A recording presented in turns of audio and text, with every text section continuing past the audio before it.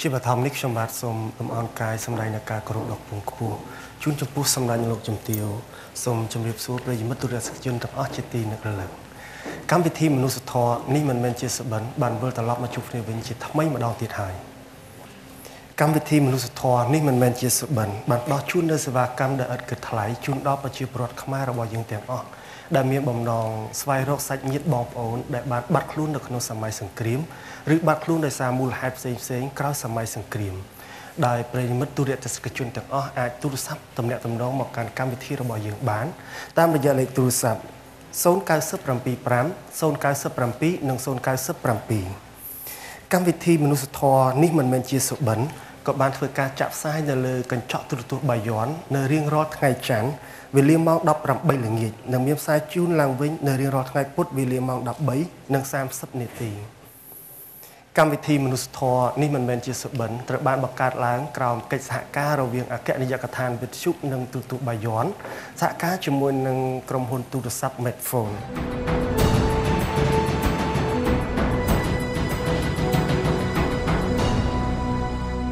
យើងឃើញថា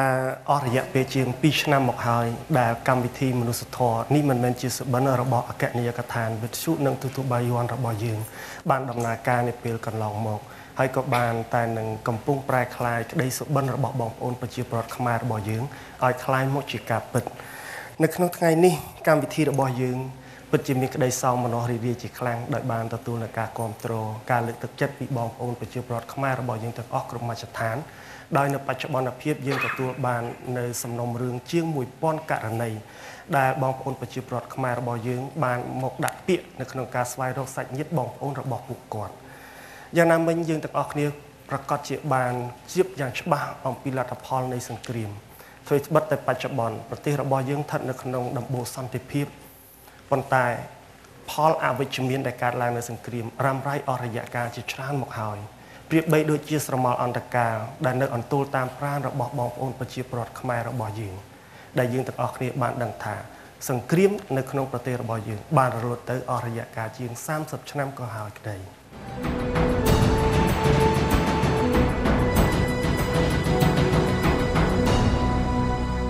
លើសពីនេះទៅទៀតជាកិត្តិយសដ៏ធំធេងជាទីបំផុតសម្រាប់កម្មវិធីមនុស្សធម៌នេះមិនមែនជាសុបិនដែលយើងបានទទួលការគ្រប់គ្រងពីបងប្អូនប្រជាពលរដ្ឋខ្មែររបស់យើងគ្រប់មជ្ឈដ្ឋាននៅក្នុងនោះយើងសង្កេតឃើញថាមិនមែនមានត្រឹមតែបងប្អូនប្រជាពលរដ្ឋខ្មែររបស់យើងដែលរស់នៅក្នុងប្រទេសតែប៉ុណ្ណោះទេយើងបានសង្កេតឃើញថាមានបងប្អូនប្រជាពលរដ្ឋខ្មែររបស់យើងជាច្រើនដែលកំពុងតែរស់នៅនៅលើបណ្ដាប្រទេសនៅលើពិភពលោកបាននឹងកំពុងផ្ដល់នឹងការយកចិត្តទុកដាក់ផ្ដល់នឹងការគ្រប់គ្រងផ្ដល់នឹងការ លើកទឹកចិត្តក៏ដូចជាបានចូលរួមនៅក្នុងការដាក់ពាក្យស្វែងរកសាច់ញាតិសាច់សាវលហិតរបស់ពួកគាត់ដែលបានបាត់ខ្លួនភៀសច្រើនគឺនៅក្នុងសម័យសង្គ្រាមលើសពីនោះទៅទៀតយើងបានការយកចិត្តទុកដាក់និងការចាប់អារម្មណ៍យ៉ាងខ្ពស់បំផុតពីសំណាក់ស្ថាប័នសារព័ត៌មានអន្តរជាតិដែលពួកគេមានគោលបំណងមកផ្តិតយករូបភាពមកធ្វើការតំណាក់តំណងជាមួយនឹងកម្មវិធីមនុស្សធម៌នេះមិនមែនជាសុបិននៅក្នុងគោលបំណងតែមួយគត់គឺនាំយកសកម្មភាពរបស់យើងនេះ ទៅកាន់ពិភពលោកទាំងមូល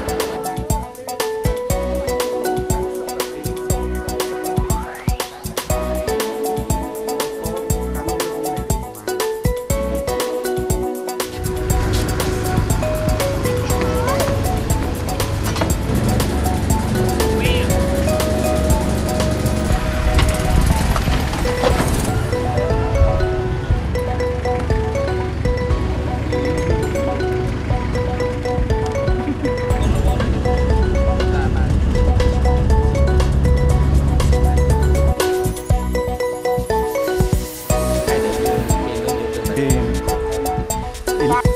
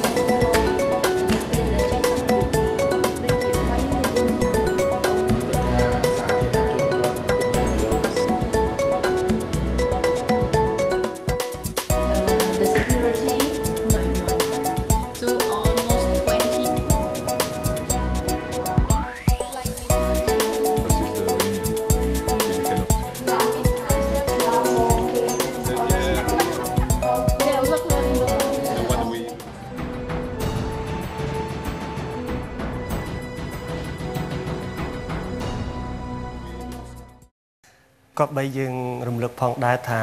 រយៈកាលកន្លងមកជាពិសេសនៅក្នុងអំឡុងឆ្នាំ2011នេះក្រុមការងារមនុស្សធម៌នេះមិនមែនជាស្បិនរបស់យើងបានសម្រេចនៅគោលបំណងរបស់បងប្អូនប្រជាពលរដ្ឋខ្មែររបស់យើងជាច្រើនករណី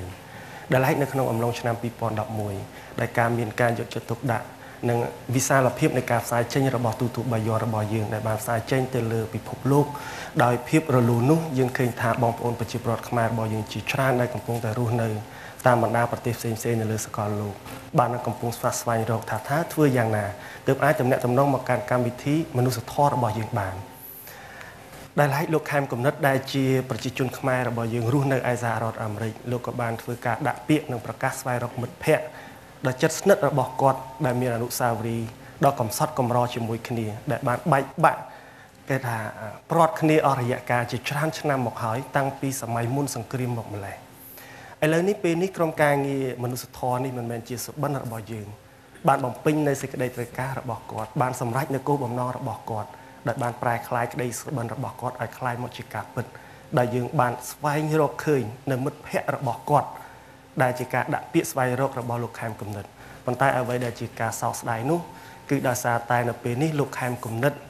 លោកមិនអាចធ្វើដំណើរមកកាន់ប្រទេសកម្ពុជារបស់យើងដើម្បីចូលរួមនៅក្នុងការជួបជុំនេះទេ គឺកម្មវិធីមនុស្សធម៌នេះមិនមែនជាសុបិនបានទទួលនៅលិខិតមួយដែលផ្ញើមកពីទីក្រុង Chicago នៃសហរដ្ឋអាមេរិកមកកាន់ការិយាល័យនៃកម្មវិធីមនុស្សធម៌នេះមិនមែនជាសុបិនខ្ញុំបាទឈ្មោះខែមគំនិតឈ្មោះដើមកែវគំនិតសូមលោកជួយរកមិត្តកាលនៅរៀនជាមួយគ្នានាឆ្នាំ1970រហូតដល់ឆ្នាំ1975 ហើយក៏ជាមិត្តរួមក្រុមកាយរិទ្ធជាមួយគ្នាផងដែរនាឆ្នាំ1970ដល់ឆ្នាំ1975ពួកគាត់ធ្លាប់រៀនជាមួយគ្នានៅវិទ្យាល័យចាក់អង្រែគឺនៅជាប់នឹងចំការមូនក្នុងនោះគឺមានលោកកែបស៊ីផាន់លោកស្រីហុកមនថាដានី អ្នកបងប៉ក់សាមៃម៉ងសាណា តាមរយៈការប្រកាសស្វែងរកមិត្តភ័ក្តិរបស់លោកកែគុំនិនកម្មវិធីបានធ្វើការស្រាវជ្រាវនិងស្វែងរកឃើញមិត្តសម្លាញ់របស់លោកដែលបានបែកគ្នានិងបាត់ដំណឹងតាំងពីសម័យប៉ុលពតលោកស្រីប៉ក់សម័យម៉ងសាណាជាមិត្តម្នាក់របស់លោកកែវគុំនិតកាលពីសង្គមចាស់ដែលពីមុន លោកស្រីគឺជាអតីតគ្រូបង្រៀននៅសាលាបឹងកេងកងសពថ្ងៃលោកស្រីប៉ក់សម័យម៉ងសាណា មានកូនចំនួន4នាក់រីឯស្វាមីរបស់លោកស្រី បានទទួលមរណភាពទៅហើយ ជាការសោកស្ដាយដែលកម្មវិធីមិនបានស្វែងរកឃើញមិត្តភ័ក្តិរបស់លោកចំនួន2រូបទៀតដែលលោកបានសរសេរក្នុងលិខិត គឺលោកកែបស៊ីផាន និងលោកស្រីហុកមុនថាដានីប៉ុន្តែជាសំណាងល្អកម្មវិធីបានធ្វើការស្វែងរកឃើញមិត្តសម្លាញ់របស់លោកជាច្រើនទៀត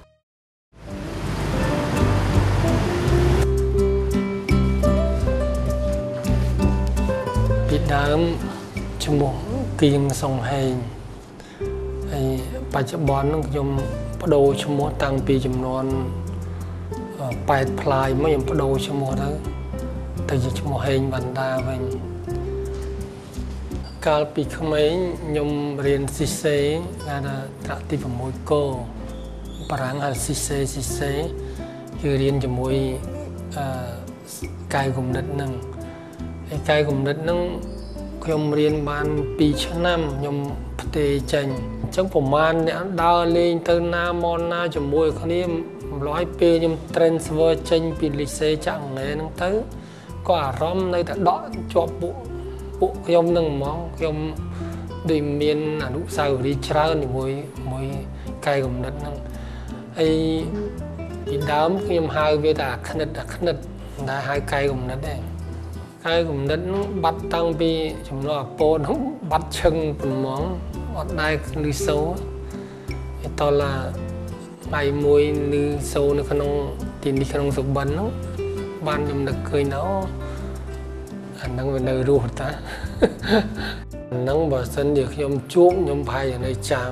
ពុំមុខវាដូចដូចនៅក្នុងអារម្មណ៍ខ្ញុំរហូតប៉ុន្តែវាវិញប្រហែលជាភ្លេចខ្ញុំក៏មិនដឹងដែរ ប៉ុន្តែខ្ញុំអត់ភ្លេចវាហ្នឹង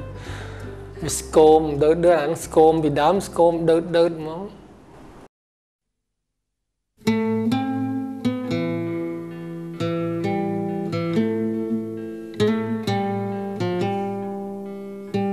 សម្រាប់ឈ្មោះស៊ីនចាន់ឆាយាបាទជាកូនលោកស៊ីនស៊ីសមុទ្រមករៀនក្នុងពេលយុវវ័យជាមួយគ្នា នៅក្នុងវិទ្យាល័យចាក់អង្រែបាទ វិទ្យាល័យចាក់អង្រែហ្នឹងគឺយើងរៀននៅក្នុងវិទ្យាល័យជាមួយគ្នាជាមួយលោកកែកំណិតលោកហេងវណ្ដានិងលោកកែសិផាន់ប៉ុន្តែខ្ញុំតូចជាងគេខ្ញុំអាយុតិចជាងគេក្នុងចំណោមមិត្តភ័ក្តិទាំង4នាក់ហ្នឹងគឺខ្ញុំអាយុតិចជាងគេដោយសារខ្ញុំរៀនពីបឋមសិក្សាមកខ្ញុំផ្លោះផ្លោះទៅបានទៅជួបជុំគ្នា3 4នាក់ហ្នឹងនៅក្នុងអឺនេះទេមិនមែននៅក្នុងរួមថ្នាក់ជាមួយគ្នាទេនៅក្នុងវិទ្យាល័យជាមួយគ្នាក៏ប៉ុន្តែថ្នាក់ជាប់គ្នា គួរលោកកែកំណិតលោកហេងវណ្ដាលោកកែសិផាន់ហ្នឹងក៏រៀននៅថ្នាក់ទី6កកាលហ្នឹងនោះហើយខ្ញុំរៀននៅថ្នាក់ទី6ខតែដល់ពេលមានទៅហាត់ជាយុវ័នគេហៅយើងគេហៅស្គុតហៅស្គុតមកហាត់ស្គុតហ្នឹង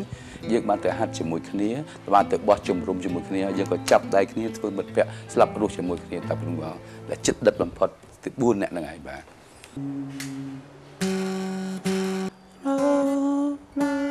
បើនិយាយទៅគឺថាខ្ញុំខ្លួនខ្ញុំម្នាក់គេចាំខ្ញុំច្បាស់បើលោកបណ្ដាខ្ញុំចាំច្បាស់ហើយបើថាលោកកែសុផាន់លោកកែបាច់ខ្ញុំភ្លេចមុខតែចាំឈ្មោះ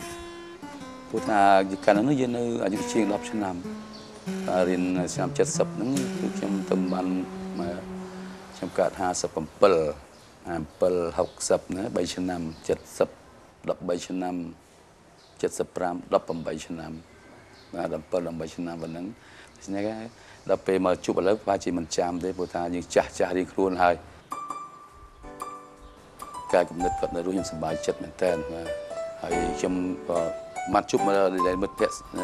ជិតស្និទ្ធមានលោកហេងបណ្ដាគាត់នៅរស់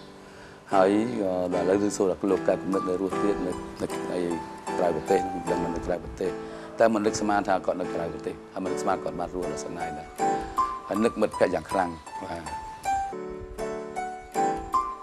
អូយើងនិយាយទៅអត់មានអ្វីប្រៀបបានព្រោះយើងបែកគ្នាជាង30ឆ្នាំហើយបាទ